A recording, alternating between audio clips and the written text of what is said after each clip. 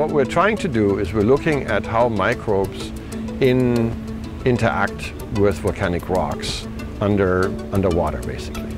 And so we go to volcanoes where we have contact with water, either up on Mount Erebus, where we have the glaciers, or where glaciers actually intersect or run over ancient volcanoes. And so we can take substrates or rocks from there, just collect them and study the surfaces and see how that has been going on for thousands of years. And we also put experiments out where we have um, glass substrates that we put out and see how they're colonized. And we have chosen the glasses such that some of them are particularly attractive for microbes that oxidize iron. Others are particular for manganese or for phosphorus and so on.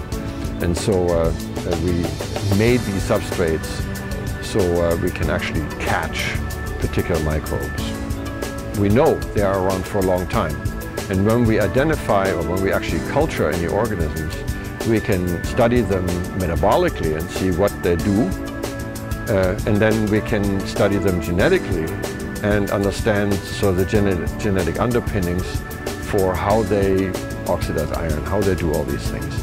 And with these genetic data, you can place them somewhere in the tree of life. And uh, the lower these microbes will be on the genetic tree of life, the closer you might be getting to the origin of life. Well, the, our experiments from the sea floor suggested that two years is a minimum uh, for reaching a sufficiently thick biofilm so we can catch enough microbes, but also to see the initial effects of corrosion in the glass. And in fact, you know, two years, even four years may not be enough. But we'll see how, how the results will be.